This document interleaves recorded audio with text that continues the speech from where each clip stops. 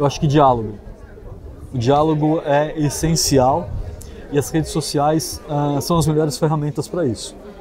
Para provocar o diálogo, provocar a discussão, provocar a conversa.